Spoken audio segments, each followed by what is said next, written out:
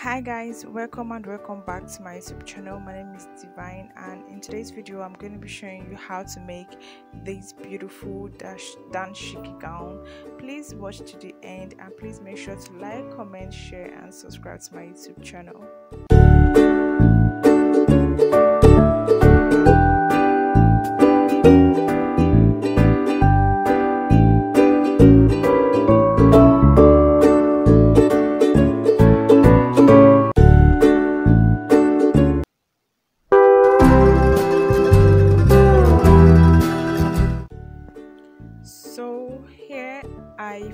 fabric into four because i'm cutting for both the front and the back piece. So i just measured this and i have 18 inches. And how to get 18 inches is by dividing your shoulder measurement into two and then adding your desired sleeve length. That is how i got 17 and then i added one inch for sewing for folding my sleeve. Now i just drew a line and that is going to be our starting point. And then we have a total length of 14 inches plus one inch for folding allowance. Now from the top part i just measured three inches and one and a half inch inches for my neckline. The one and a half inches for the um, for my back neck line and that is what i'm just i'm just trying to create my back neckline and from there i measured 17 inches I'm just trying to make the lines more visible for you guys to see. So I measured 17 inches and I came down by one and a half inches for our shoulder slope. You can use one inch, you can use one and a half, but I use one and a half, and I'm just going to connect it from from the three inch line I marked for my neck line i'm going to connect it all the way to the one and a half inch that i marked from the 17 inches. I hope i hope it makes sense but yeah just watch closely and see what i am doing to understand what i'm doing. So i just connected the line and that is going to be our shoulder slope. And from there i measured 9 inches down. You can use 8 you can use 8.5 depending on your size. So i use 9 inches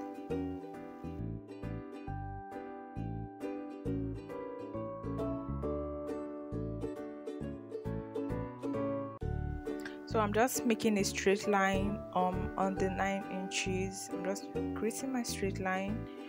And that is where our arm is going to pass through. So i just measured half an inch from the bottom part of the 9 inch because I want our sleeve to be a little bit slanted. So I just measured half an inch and created another line there now from the um, from our line that we drew earlier i measured 26 inches and that is going to be our hip line.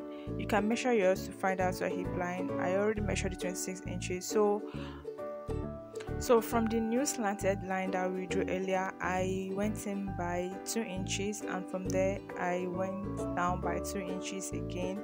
And i just connected the two inches that i made like so and now i'm going to go over to my hip. And from my hip i'll just take three inches out leaving us with 15 inches. Note that my hip is 40 inches divided by 4 is going to be 10 so i have like 5 inches allowance on my hip area.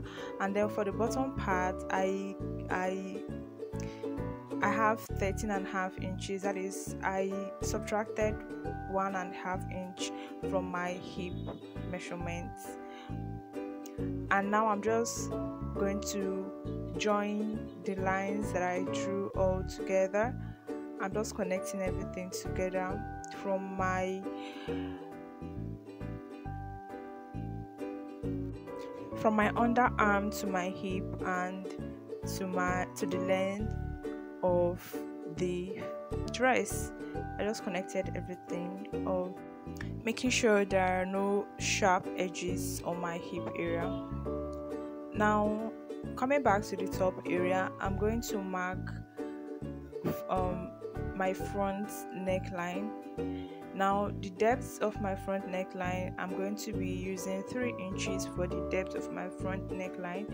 I also note that my front neckline is going to have a slit a five inch slit but i'm just first trying to connect my first my front neckline. This is how i connected it together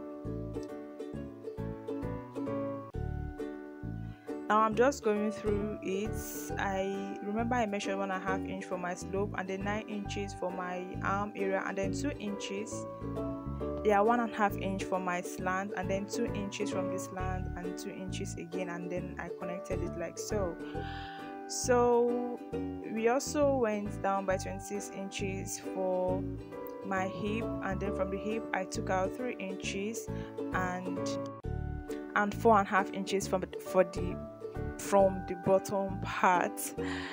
Oof. So i'm marking half inch on the on the top part. That is for the joining allowance. I'm marking half an inch on the slanted part i'm just marking half an inch all through so that when we join our um our front and our back we will not be short of any fabric. That is why i added half an inch and i'm just connecting the half an inch all together like so.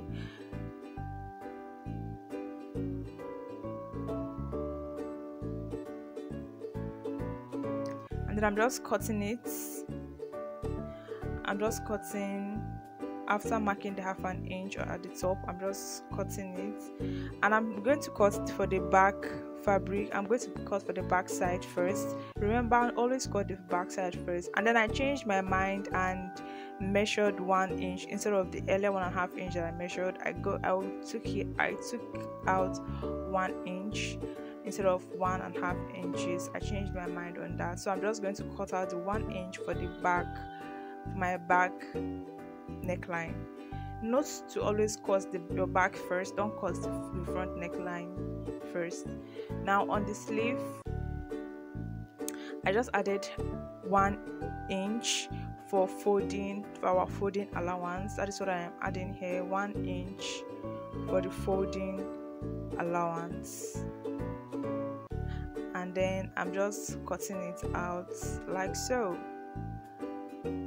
and then I'm cutting on the slanted line that we measured earlier. Now this is what we have after cutting out after cutting our fabric. This is what we have. And I just removed the back neck the back side of the dress. And we have the front here so I'm going to cut out the front neckline remember I measured 3 inches for the depth of our front neckline. So i'm just cutting the three inches like so.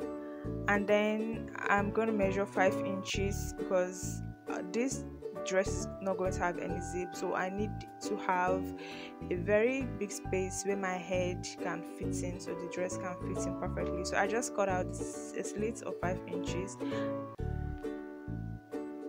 and now i'm going to cut the pocket for this beautiful dashiki dress. I'm marking out six inches first because you need enough space so your hand can fit into your pocket. So i marked out six inches and then i placed my palm on it and just making um like a circle not really a circle but you can see what i am doing and i'm going to cut it. I'm going to have four of these two for each size but i have two here.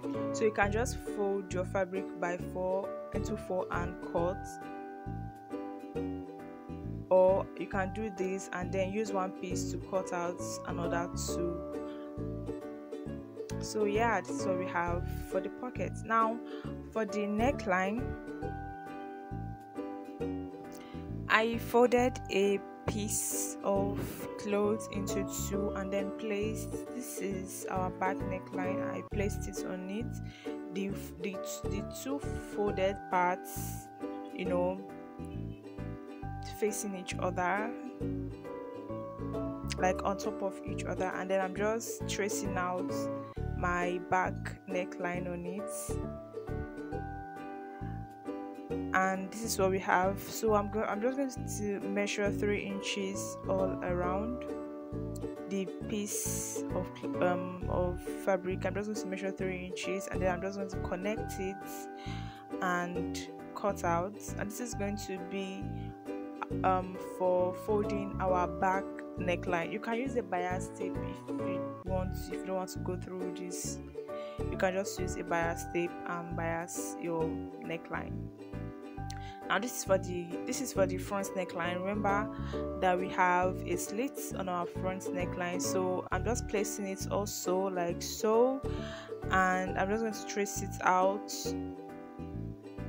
Make sure it is well placed. As you can see in this video place it perfectly and then trace out. So i'm tracing out my front neckline.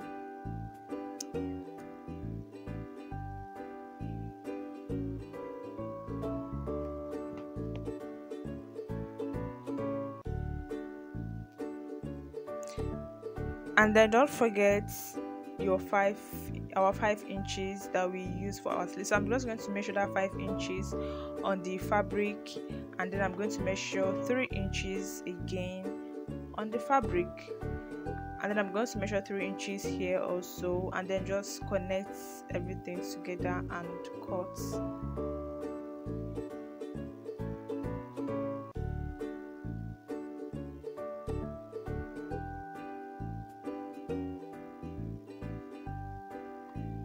please ask me a question if you don't understand anything in the comment section. You can ask me your questions. So i'm cutting the five inches slits. Then i'm going to place it on top of my front fabric. My front? Yeah this is how place it right side facing right side and then i'm just going to my sewing going to my sewing machine and sew it all in and then fold it over. Now i've done that for both the front and the back neckline and this is what we are having for our neckline. Then you can also go ahead and top stitch it and then iron it perfectly to stay in shape. So i've joined this side of our dress. I've also folded the um, the sleeve. But i'm going to show you how to do that on the other side of our dress. Now first thing you want to do is to fold the sleeve. Now remember we we left half an um one inch for our sleeve folding. Then after joining both the back and the front fabric we're going to fold it in by half an inch and fold it in by another half an inch making it a total of one inch. I'm gonna sew it all through